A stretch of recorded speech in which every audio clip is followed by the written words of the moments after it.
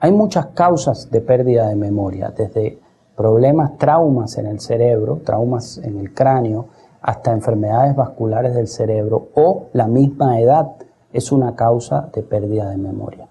Eh, en, sobre todo en el anciano, la causa más frecuente de pérdida de memoria eh, por enfermedad es, son las demencias, esencialmente la enfermedad de Alzheimer.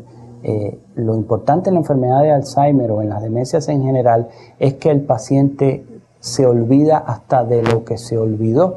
Entonces eh, ya es una pérdida de memoria muy severa que debe ser tratada por un médico.